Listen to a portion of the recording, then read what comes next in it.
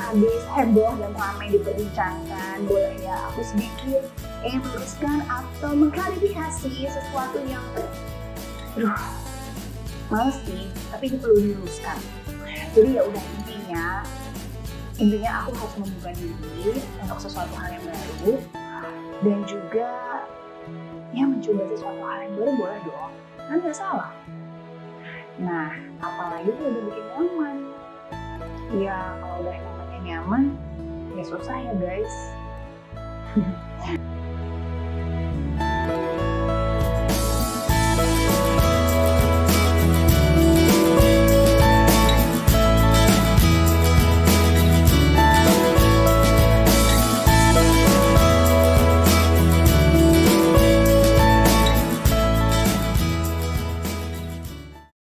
Jangan lupa subscribe ya.